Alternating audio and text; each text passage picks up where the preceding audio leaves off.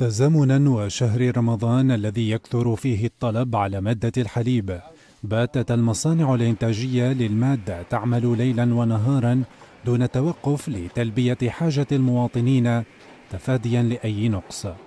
الملبنة توفر مادة الحليب المدعم من طرف الدولة والحليب الطازج بقدرة إنتاجية حوالي 10000 لتر. حليب مدعم وأزيد من 3000 لتر حليب بقر طازج. تزامنا مع شهر رمضان الفضيل الملبنة ضاعفت من جهودها في توفير هذه المادة الأساسية.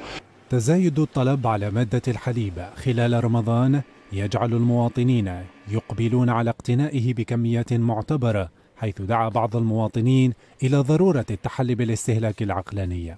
رانا نشوفوا بلي ماده الحليب راه متوفرة بكميات كبيرة. آه، فقط الرسالة اللي نوجهها للمواطنين هي لازم أنها تكون عندنا ثقافة الاستهلاك لأن مهما كانت الكمية إذا كان المواطن ما استلزمش بأنه يدي كيس ولا كيسين الحاجة اللي تكفيه في النهار تاعه ما نجموش نوفروا الكامل الكامل السكان. إحنا الحمد لله في مكمن بالعمار. الحليب متوفر بكثرة ما عندناش إشكال لا على مستوى المحلات ولا على مستوى لوزين المنتج الحليب.